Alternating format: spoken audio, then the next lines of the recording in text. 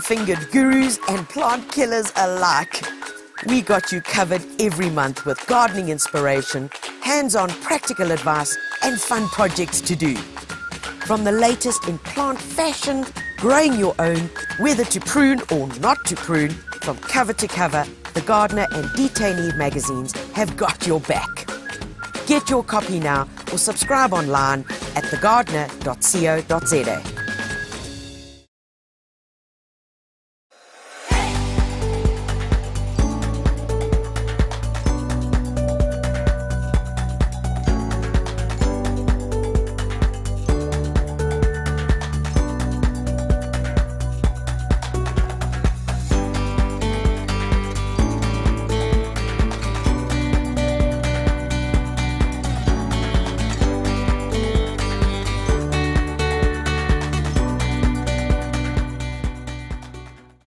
Tanya Visser Live is proudly brought to you by the Gardener and Die Tuinier magazines. eMag and digital subscription now available at thegardener.co.za and tanyavisser.com for all your gardening goodies and supplies.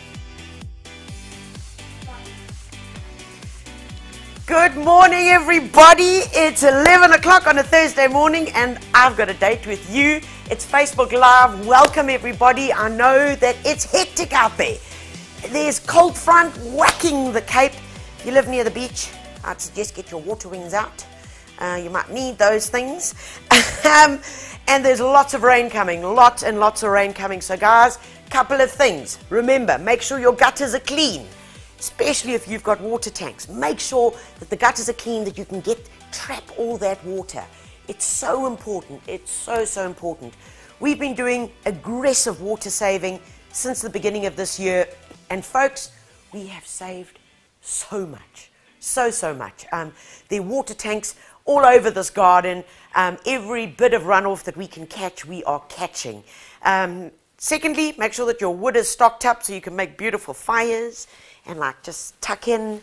Um, and also make sure you got a stock of all that important stuff like chips, yeah, sweeties, and good movies.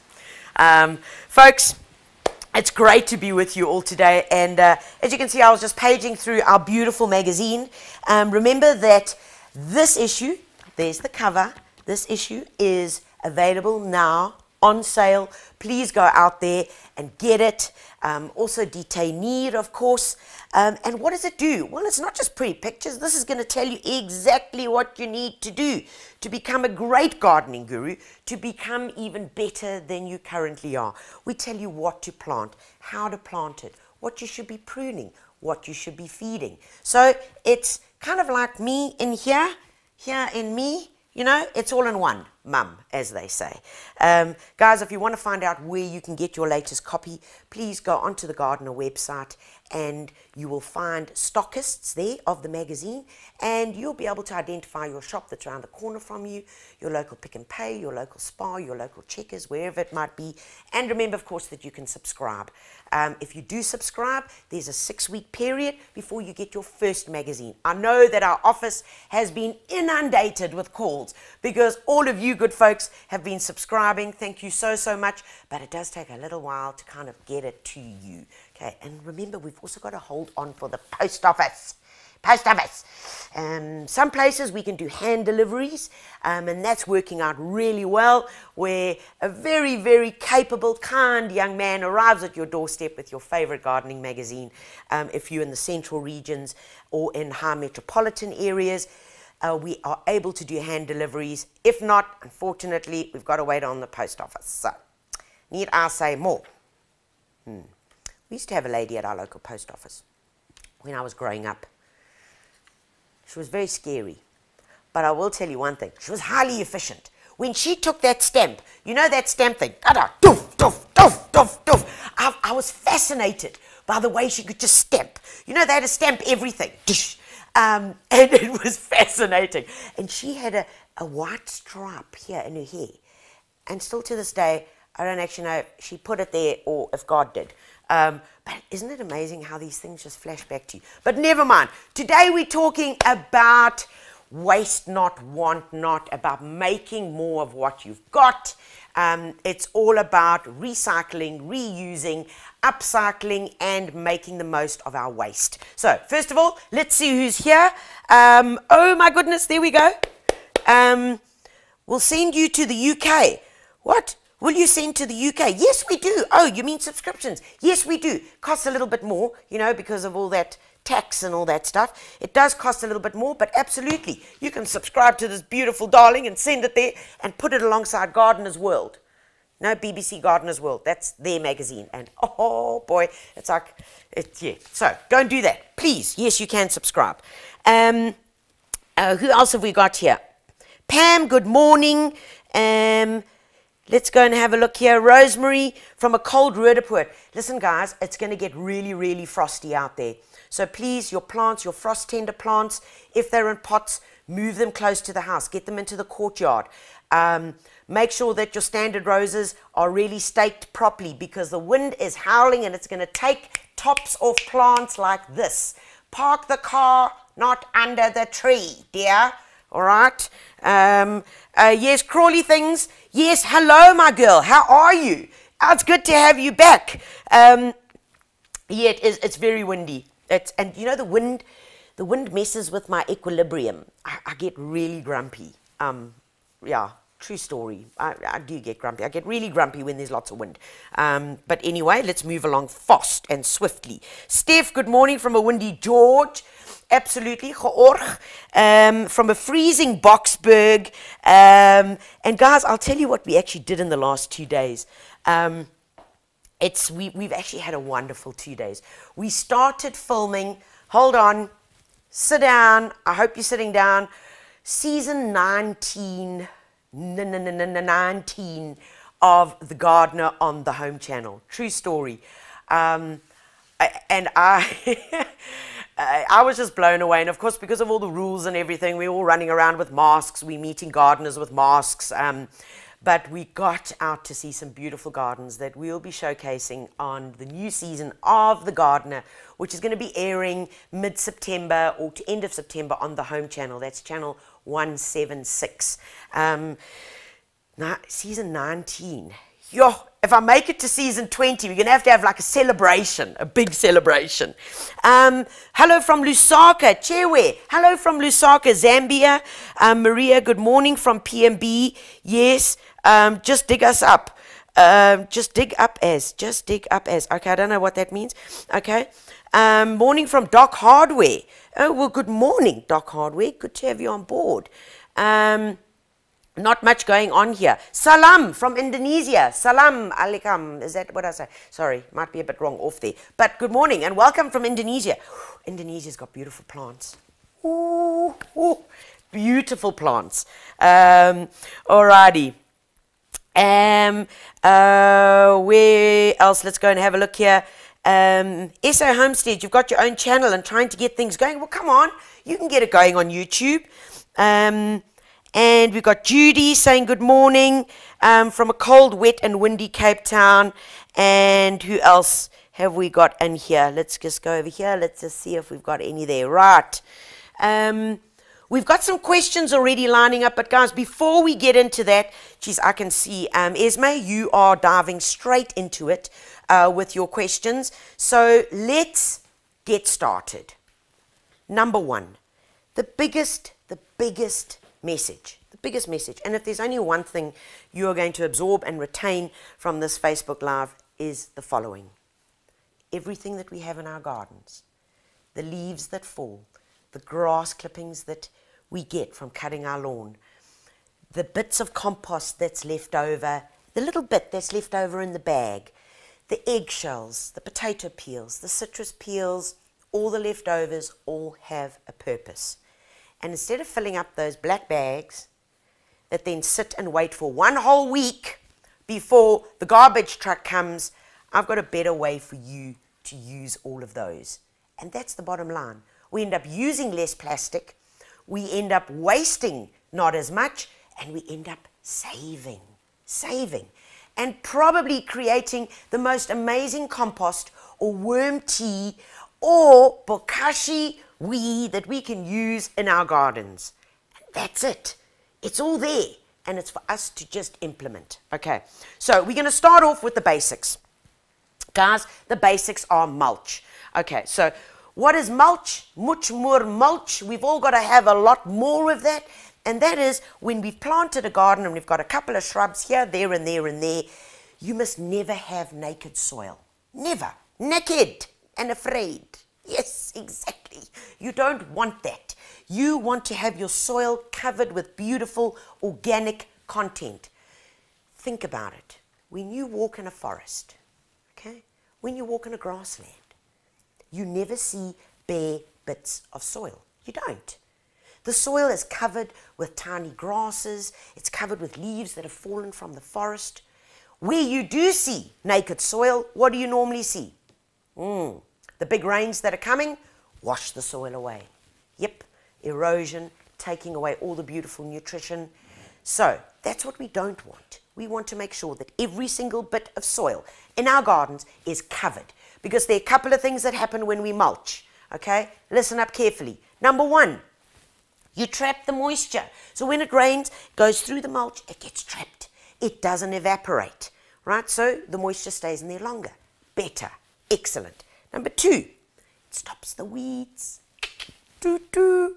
Excellent. For sure. Because when you've got naked bits of soil, rain, okay, you've got moisture, rain, sunlight, all the things that you need for seed germination. And then you're going to have those unwanted weed seeds germinating. So you have to weed less, which is brilliant. Absolutely brilliant.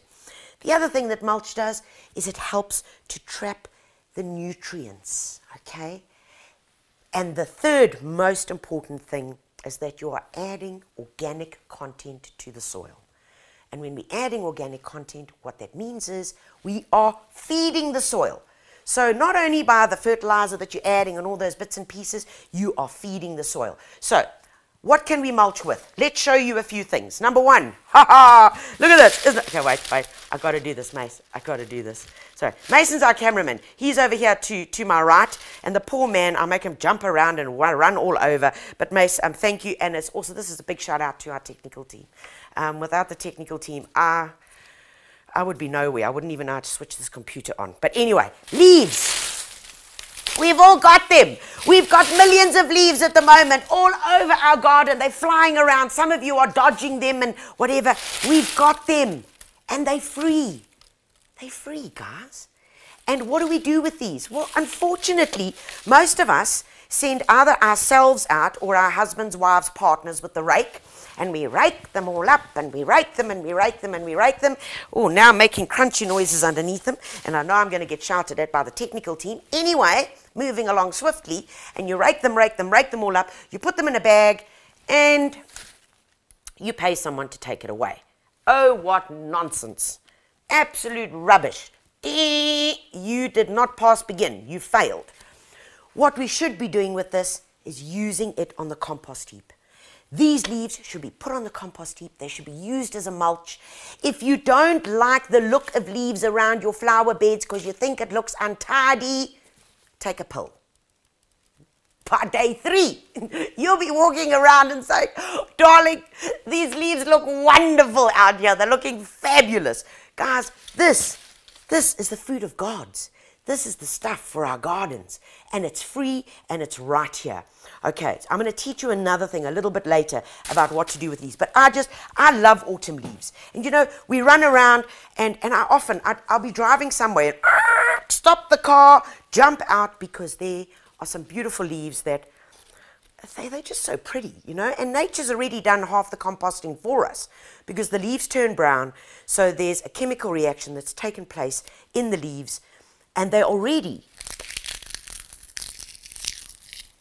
halfway there to be turned into beautiful mulch that can be used in our garden to feed our soil. Okay. Oh, I love this. I love this. okay. So that's the one thing you can use as mulch. The other thing you can use as mulch is this. And these have become really popular um, of late. And these are macadamia nut shells. Yeah, we all love macadamia nuts, but you can buy these now at your local garden center, um, at your builders, and they work brilliantly. So if you slightly like, um, is the right word, uh, if you're slightly more pedantic about the neatness in your garden, then use macadamia nut shells. They work brilliantly um, and they work as a lovely mulch, as a thick layer of organic material across the top of your soil. Okay, so that's the other one that you can use. Um, of course, you can use different grades of pine bark.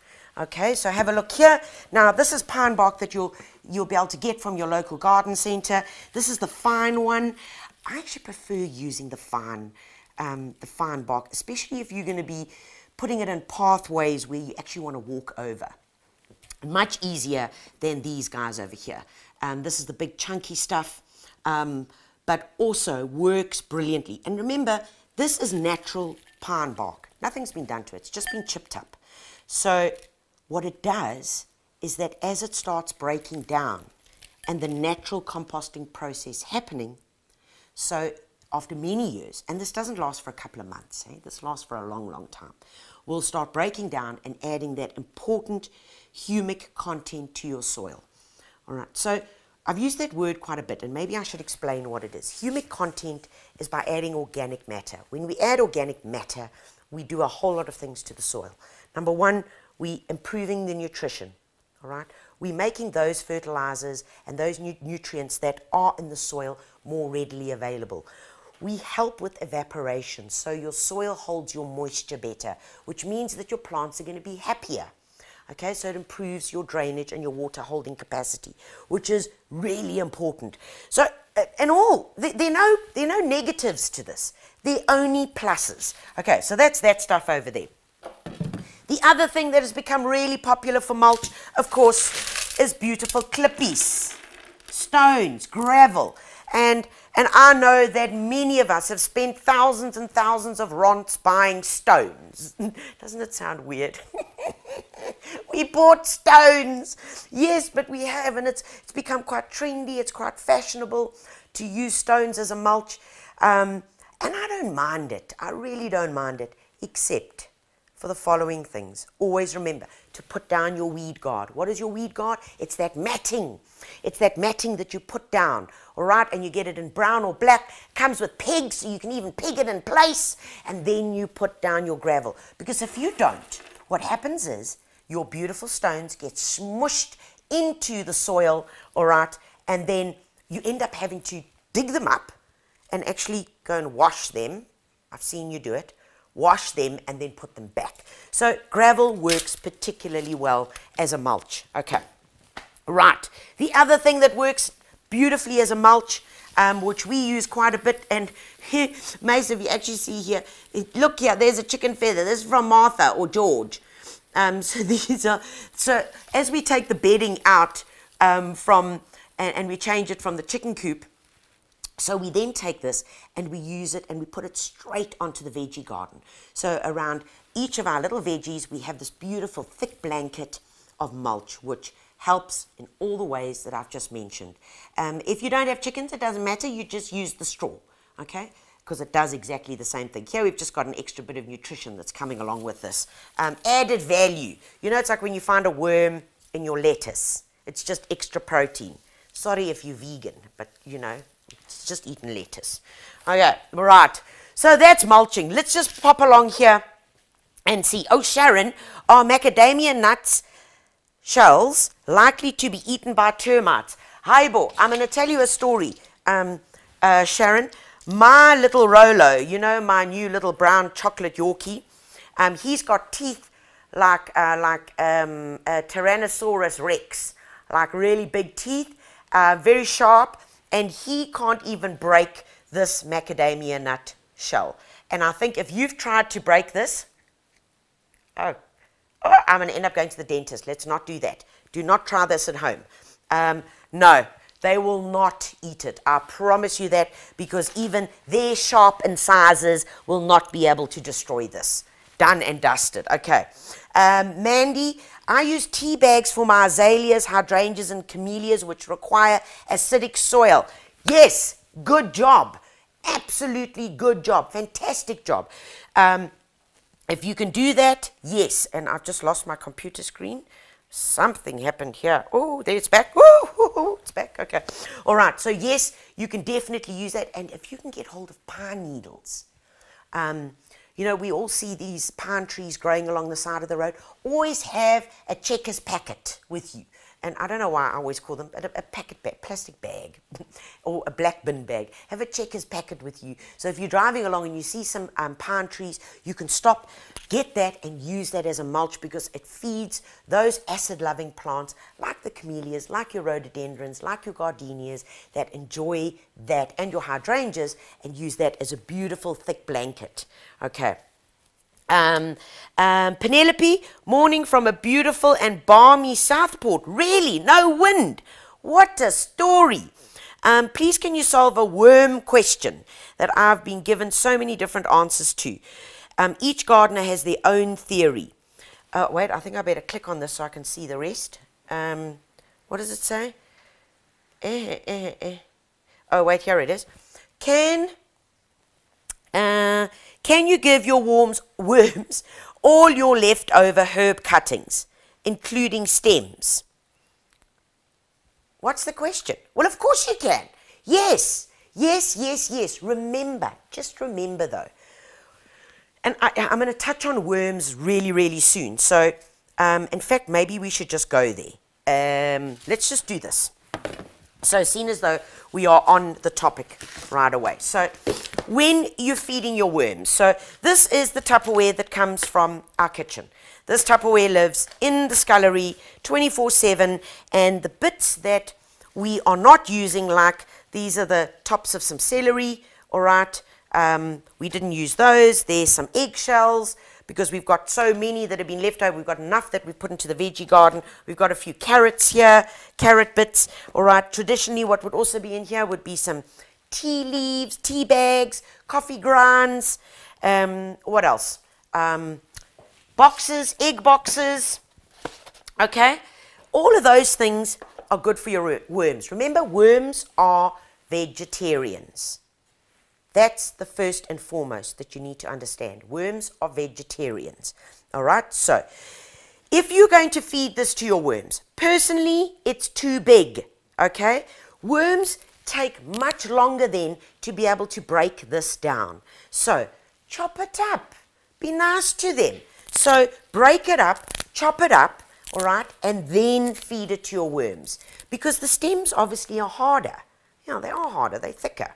Much the worms will find this much easier to be able to, to, to eat and to process than a stem. And that's what happens. The stems end up being processed last and they take a little longer.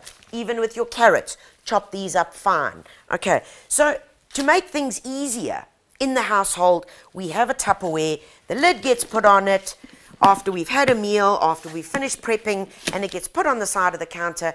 And once a week, we go and feed the worms. Okay, so Let's go to the worms. Okay, let's go to the worms. Come along here and I'm going to show you. Mace, are you with me here on the worms? So guys, this is a worm farm, all right? This is actually a homemade worm farm. Um, and take a look at this sexy one here. Ooh, now this is a really sexy worm farm. In fact, this one is so sexy, it can be in your kitchen. Um, it could even be a centerpiece in your dining room. True story, because worm farms don't stink. They don't. They do not stink. So this is your lid. Take your lid off. All right. Here's your top level. So remember, worms feed in layers. Okay, and I'm going to go right down here and lift it up. Okay, have a look in here. Here's a little sieve. And what happens is that sieve will catch some of the worm castings. Oh, Louis escaped. Hey, boy, Wenna, get back inside. Come now. Don't leave your friends. So this is your worm castings that already have been started to fall through. And then in the base is your worm wee. That's where the worm tea collects. And underneath here is a little tap so that as your worm wee is collecting, you just open the tap and you can catch it and then you dilute it into water. Okay, so let's just reassemble this baby.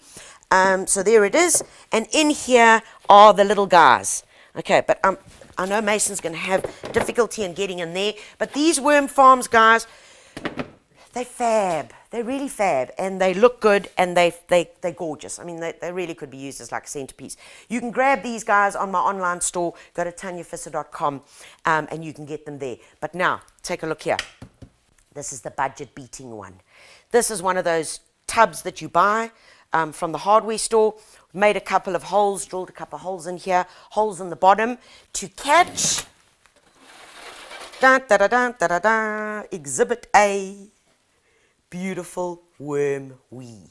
okay, now they, the fancy people call it worm tea, but it's just worm wee, guys. Okay, so the you know worms have become a, a huge thing, a huge, huge thing. And let me tell you, there was a very clever man who spent a lot of time, a lot of time researching worms, and that was Darwin. Darwin spent years researching the earthworm because of its amazing properties. And the fact is that when a worm eats something and it goes through its system, when it comes out, if you end up with a teaspoon of vermicompost, a teaspoon, it is guaranteed that there are over 250, 250 active, good bacteria and chojos and nutrition living in there. Highball. Now that's bang for your buck. Okay, let's have a look here. In our worm farm, Okay, what we do is, oh, and by the way, you can't use ordinary garden worms for this, huh? You can't go and dig them out. There's a special worm that goes in here, and it's called the red wriggler. Okay, red wriggler. You'll remember that. They're great for fishing. Mm. No, I didn't say that. Anyway, so what you do is, on top, on top of your worm farm, we always put in a piece of newspaper that's slightly damp. And the, that, all that does is it just helps to keep them a bit snug. Okay, makes sense. Um, let me bring this over here, Mace, and then we can really get in here and have a look. Let me tip it on its side. Okay, so right, here we go. Let's have a look what we've put in here. We've put in strips of newspaper because that works, okay? There's a bit of grass. You can also put that in because remember they're vegetarians, so they eat all of this stuff. We've obviously got some eggshells that are left over. We've got some tomato bits, and let's find these little boys. Where's Huey, Dewey, and Louie? Come on, where are you guys? Oh, here they are. And this doesn't stink. Mason, does this stink? No, Mason's shaking his head. Mason, you can talk. Um, this does not stink at all. But what I want to do is, oh, come. Look at them. Look at the babies. There they all are. Look at this fat boy. Hey, you eating more than the others, guys. You mustn't be a fraud. Okay, look at them. Fabulous. And all they're doing is they are eating through this material that we've put in here, um, which is, of course, all the vegetarian stuff. The stalks of your herbs, yes. We've put in some strips of newspaper, old egg cartons, um, tea bags, all of that we have put in here. They're making their way through it. As they make their way through it, what happens is the worm tea goes down here. Now, now, now. Okay. Okay, I'm putting you back, guys. Okay, bye. Good night. Sleep tight. Okay. Worms do not like the full sun. This needs to be in a garage. Okay, garage, courtyard, somewhere that um, it doesn't receive direct sun. Very, very important. Or else these little guys are going to fry, okay? And nobody wants fried worms, okay? Um, but also what happens is, now I'm going to try and find a bit over here.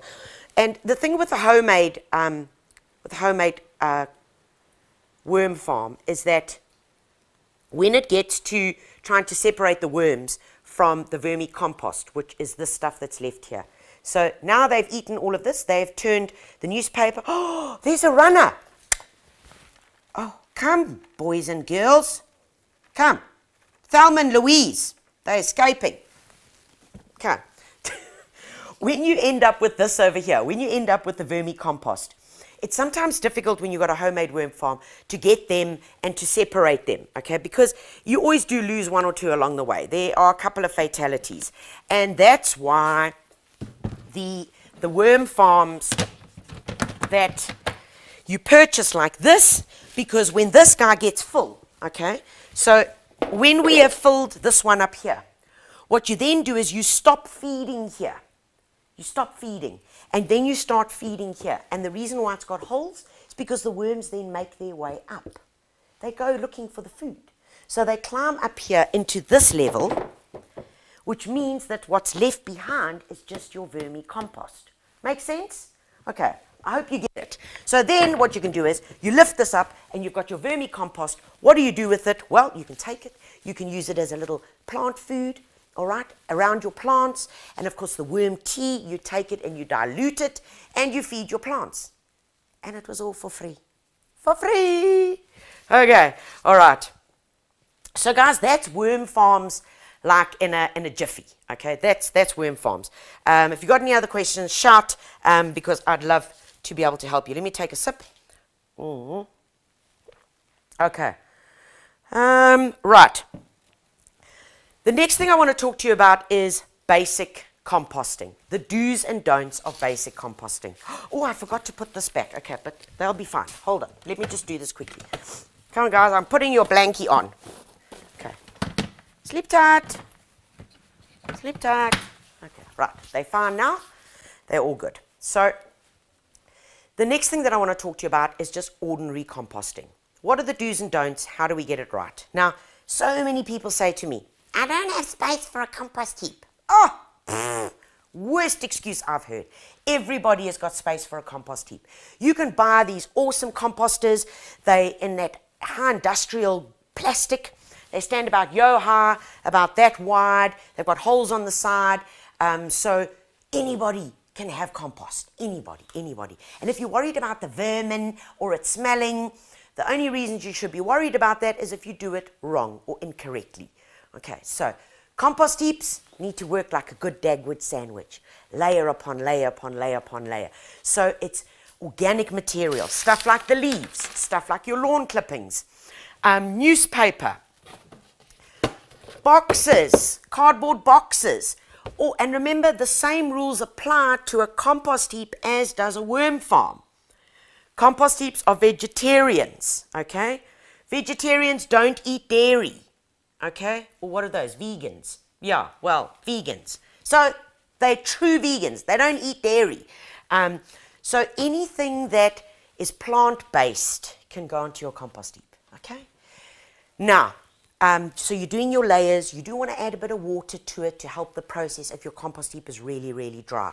But the one mistake where everybody goes wrong, which is when their compost heap starts smelling, is because there's too much green material. So if you add too much green into your compost heap, it can go really mushy and smelly. Then what you need to do is add dry. Add dry. Now, a lot of people say to me, but I've got so many lawn clippings and they're all green. What do I do with it? Well, guys, take the lawn clippings, put them inside a grain bag, one of those bags that you use when you're collecting your refuse, those um, plastic bags. It's not plastic, it's like a woven fabric. Put it in there and leave it in the sun. In a week's time, the green lawn clippings have turned brown. Duh, okay? And then you take those and put those on your compost heap. A question I'm asked time and time again. Can I put citrus on my compost heap? I'm told it's going to increase the acidity, blah, blah, blah, blah, blah. Okay, all of that is nonsense. Don't worry about that. The reason why um, citrus is generally dissuaded from putting in its raw form onto the compost heap is because it takes so long to break down. So what I want you to do with your citrus, shame these are a few naartjies that we couldn't make our way through. We, we, couldn't, we couldn't eat them. A friend delivered an entire box of naartjies to us from Joburg. I mean, can you believe it? An entire box they had on their farm. So we've been eating naartjies, naartjies, naartjies. But a couple of them didn't quite make it, and here they are. So what you do is with any citrus, pop them into one of these um, Ziploc bags and throw it in the deep freeze. Okay? Leave it in the deep freeze for about two weeks, a week even at a time. And then you take it out and then you empty it onto the compost heap.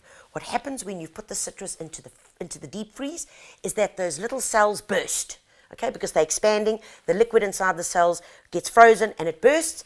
And then what happens is it's much easier to decompose on the compost heap. Okay, so it's got nothing to do with the pH and all that other nonsense. So yes, you can use it. Okay. Um, another question I'm also asked is, do compost heaps and do worms like onion? Man, love onion. Listen, I cook everything I cook with, I have onion. There's onion, onion, onion, onion. So yes, they will eat it. You know, it's like if there's nothing left to eat in the house and there's only salty cracks, You eat them. Might not be first choice, but you do eat them. Okay, so just keep that in mind. All right, let's go to a few um, more questions here. Um, mm-hmm. Mm-hmm. Rowena, Rowena, you make me laugh. Um, Rowena Willis, I had my worm farm for five years now. I've nearly killed them off a few times, but they are remarkably resilient. Absolutely. I use the vermicompost and tea in my garden all year round. Hallelujah. Amen. You see, and Rowena, how much has this saved you? And it's a great recycling initiative, and you do it, and it's for free. I love it. I just love it. Okay, Tiffany, where can we buy worms? Ha ha. Oh. Okay, so um, Tiffany, what I want you to do is, is it Tiffany? Yes, Tiffany. What I want you to do is, you go, huh? Sophie. Sophie. Is it Sophie? Oh, it's from Sophie. It's little Sophie, and it was Sophie's birthday. Is that Sophie?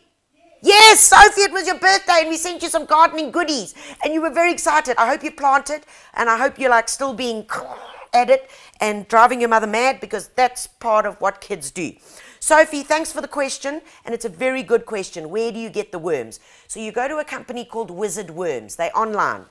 Um, go and Google them. They're called Wizard Worms, and you buy your worms and wait for it.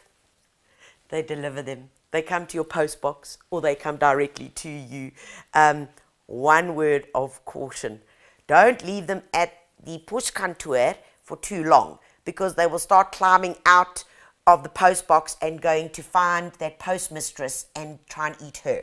Um, they can stay in that cardboard box. You get like two or three thousand worms, I think, in a box. Um, they transport them to you, and um, the guys at Wizard Worms have been doing it for years and years and years, and they are pros. So, Sophie, that's where you can buy it. Um, Diana. How long does it take before you can use the compost and worm tea? So that all depends on how your worm farm is coping. Now, the worst thing you can do is do not overfeed your worms.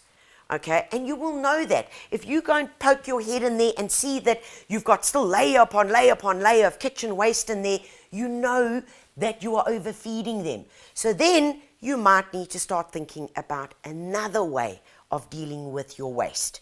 So that is, and also if you start finding hohos in there, other hohos, because then the other hohos have got in there from the rotting waste, and then you will know that you are overfeeding. Um, so as soon as you've got that equilibrium, and it's, it's like you just got to look and see.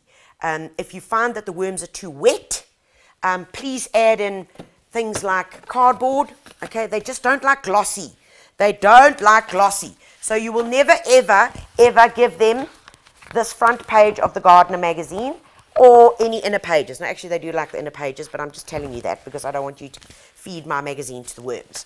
But anyway, um, so I hope that answers your question. But if you have been overfeeding, all right, then, and if you've got too much, because some families just have too much waste, then I want you to do this.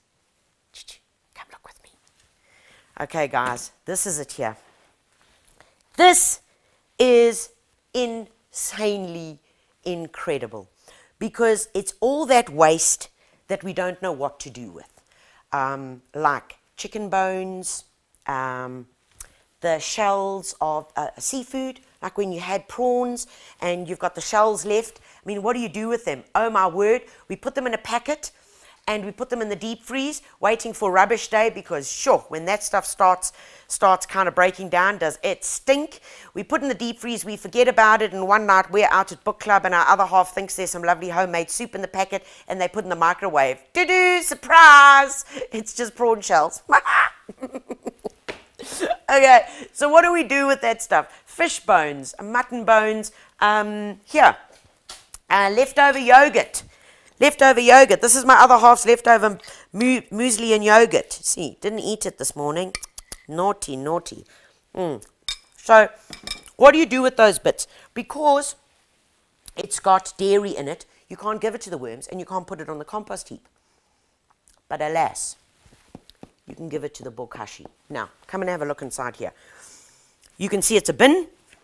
You can see it's got a tap and it's got a really good sealing lid. Okay. I'm going to open it up. Oh. smells like a brewery. You know when you drive past SAB and you get that lovely yeasty smell? Oh, it's actually really nice. Um, so in here, we have got all the extra bits that the worm farm can't cope with and that we cannot put on the compost heap. So it's all those things. It's the eggshells. It's the leftover bits. It's the yogurt. I can put this in right now. I in fact, yes, let's put it in. Come. In you go. Good job. Um, all right. And then you put it in here. Then every time you're adding, you need to add the bran. Now, this is the secret. This is the secret stuff here, guys. The bokashi bran. The bran has been inoculated with a bacteria that has all the beneficial microorganisms in it. Okay? So what does that mean? Basically, when we break it down into simple language, what it means is that in here, when you add the food and you and you've put your stuff in and you cover it with the bran, all right? Cover it with the bran and you put the lid back on. Seal it up. Must seal it up because the process that happens in here is an anaerobic process. Anaerobic. It takes place with no light or air, which is why it's also important, which I forgot to tell you, when you put your things inside there, I normally have a spoon or something, but I don't have it here because I've moved it for you guys today. And all I do is, or you actually take a, um, uh, a masher. What are those things called? Uh, when you're making uh, mashed potatoes. Take one of those and you just firm it down. You want, you want as little air between the food as, as possible. Then you squash it down and then you put the bran on top. An anaerobic process takes place which starts breaking it down, breaking down all of this. But imagine how much nutrition is going to be in a chicken bone or in the shells or, or even in your yogurt and your muesli. And then what happens is this you have this, and you can have this in your kitchen because it doesn't stink. Um, when you open it up, you just get this really lovely, lovely yeasty smell. And then I normally have to, I just tip it a bit. Oh, I don't have enough hands here. Okay, we're going to do this. Open this up, open it up, tip it over.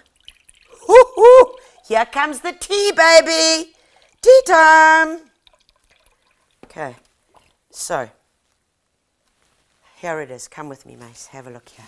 Here is your, ooh, smell it. You know, it smells like a bit like molasses. It's got that, it's sweet. It's sweet. It's delicious. It takes me back to my youth.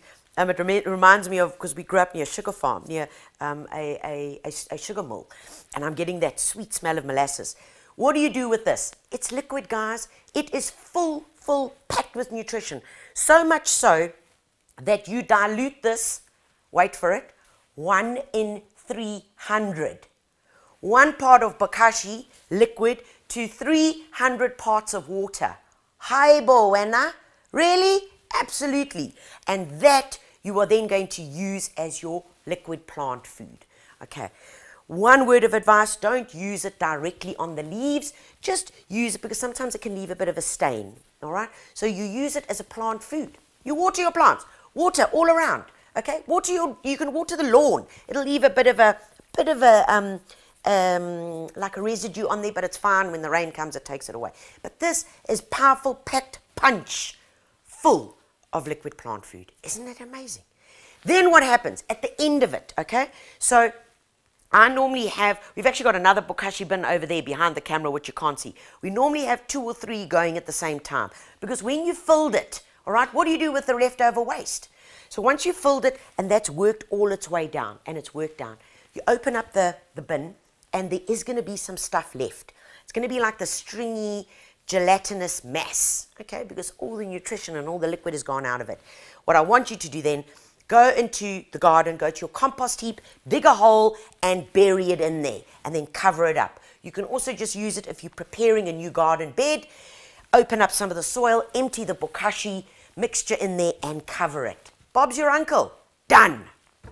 Guys, isn't this amazing? All the stuff. Okay, let's see if we've got any more questions over here. Oh, she went to sleep. Oh, oh right, here it is. There it is. There it is. There it is. Okay. Right. Um, Fawny, Fawny. Um, hello. I remember you saying that one can add old organic fertilizer to the compost heap. Yes.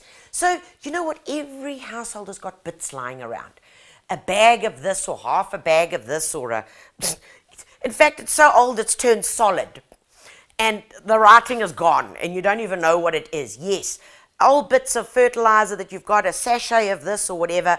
Um, just don't don't use chemical products, but even a chemical fertilizer you can use quite happily. Put it onto your compost heap, give it a good watering, and that's all just going to aid and it's going to really add extra nutrition. Don't waste it, don't throw it away, throw it on the compost heap. Right. Janet asks Does the nitrogen and other chemicals increase with leaf mulch? Oh, yes, yes, yes, yes. So when you are when you're putting down leaf mulch, you're trapping those nutrients that are in the soil. Okay, plus you're adding organic content. Remember, and when you're adding organic content and humic, humates into the soil, what happens is it releases the other nutrition. So it might have been there, but it just might have been trapped. Okay, and humates, which is carbon, your basic building block of everything, it adds that to your soil and you're improving the soil for all those reasons that I told you earlier.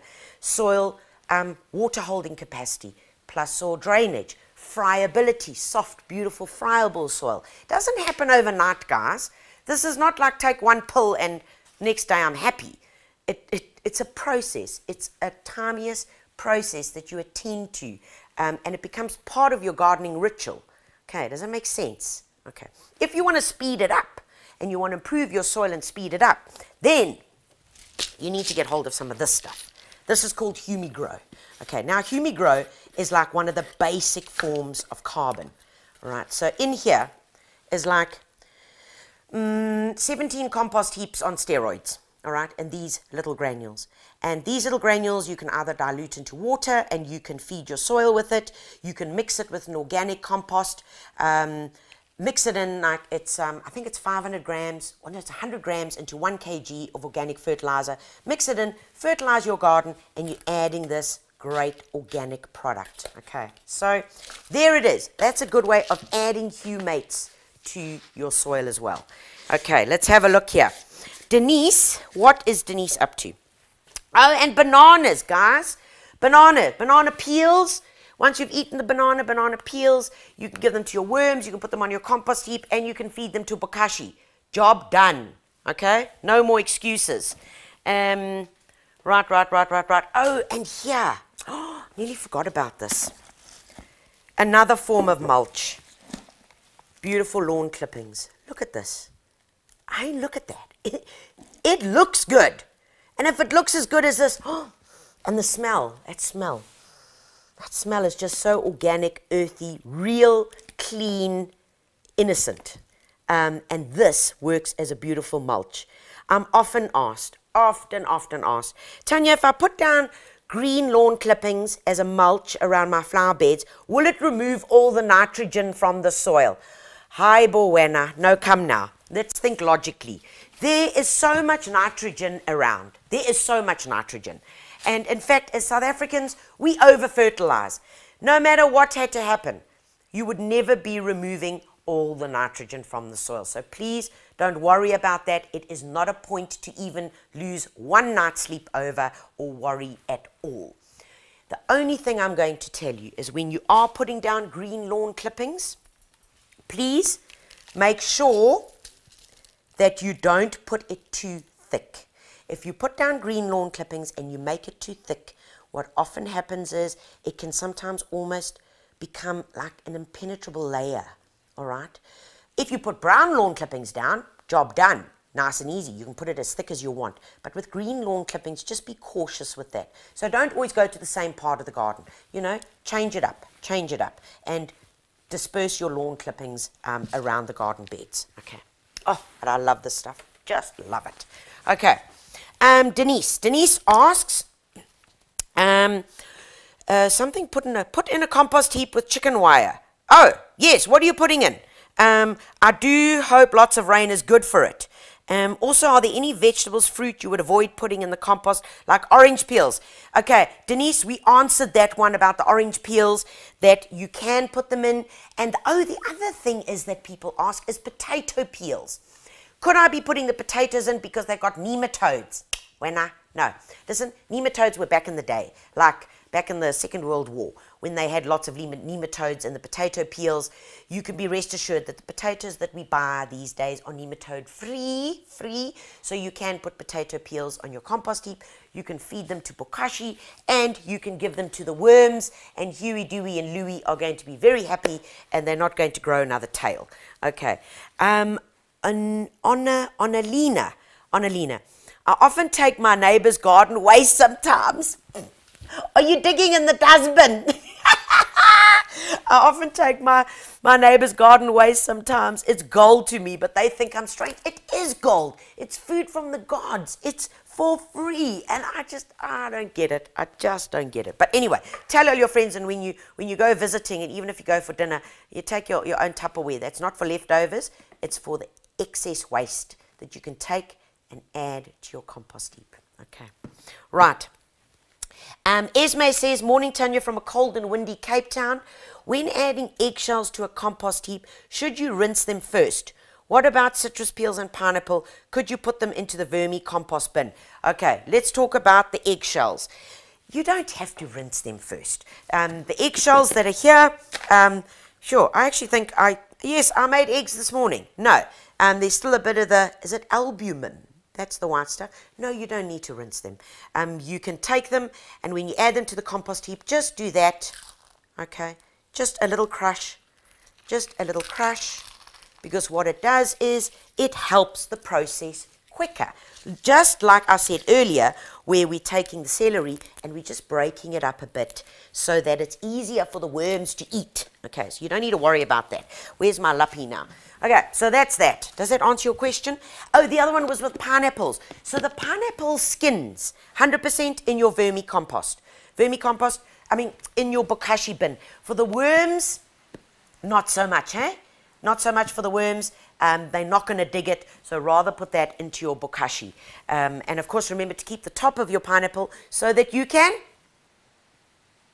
make pineapple beer. Yes, and the other reason so that you can grow your own pineapple. Okay. Um, Andrew asks two questions from Andrew.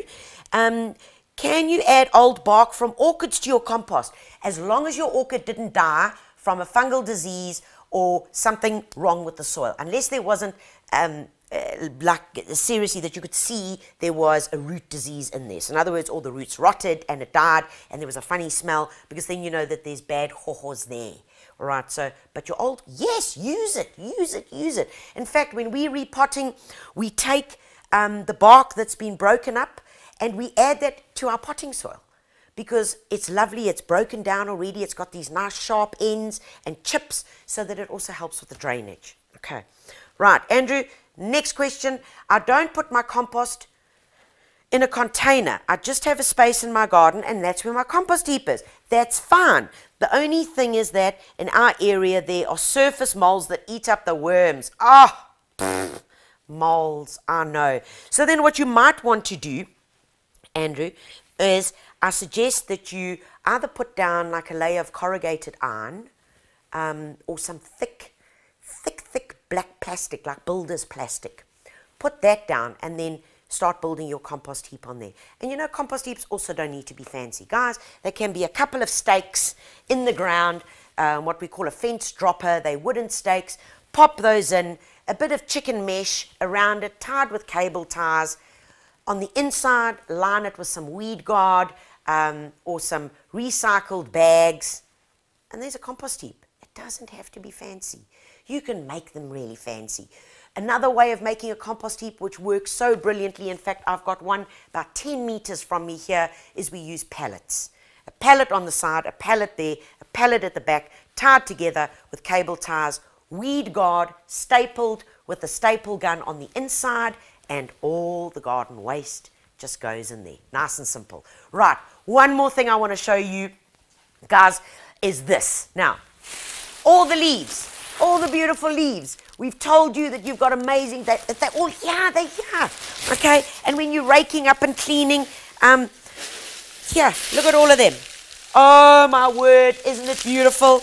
Just, and all I know is, And I feel a bit like Father Christmas with this thing. All I know is that in this bag that I've got on my back here, that I have got potential, potential, potential. So if you don't have a compost heap, if you don't have a worm farm, if you don't have bokashi, then you're going to get a black bag and you're going to take all the leaves that you've got, you're going to put the leaves in, you're going to take some strips of newspaper, strip it, put it in, you're going to take, um, oh, whatever you've got, some lawn clippings, throw it in there, make a few holes, few holes in the bag, put a bit of water in with the hose pipe just to get a bit of moisture, tie it up and leave it.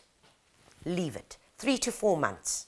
You go back there, open it up. Oh, and what are you going to find? You're going to find this. It's broken down and started to actually form soil. You got it. That's what happens. It forms a beautiful leaf mold. Leaf mold is amazing. You use it to sow your seeds and you add it to your garden beds, turn it over.